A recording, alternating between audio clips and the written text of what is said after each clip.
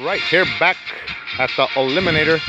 We just have one question for Mia. Are you ready to face the difficulties of the Eliminator Challenge? Yes. Okay, Mia, let's see what you got, kid. Three, two, one, go.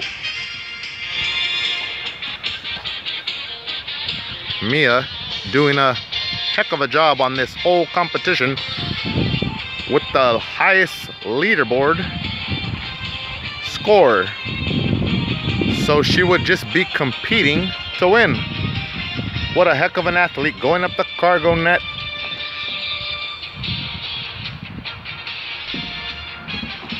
What epic speed.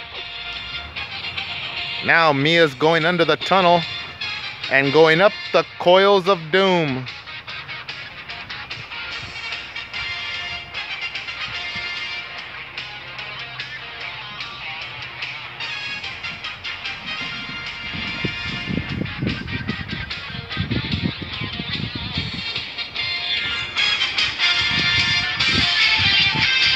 Mia going up the last part of her race.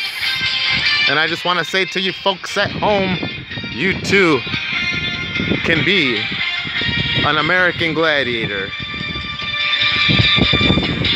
Mia, now that you won, what are you going to do with all your prize money?